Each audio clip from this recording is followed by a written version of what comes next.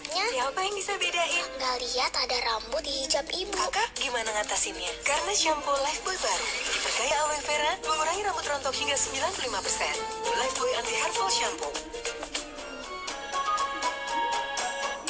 Sambut bulan suci Ramadan dengan shampoo Lifebuoy kemasan limited edition dan dapatkan kesempatan umroh.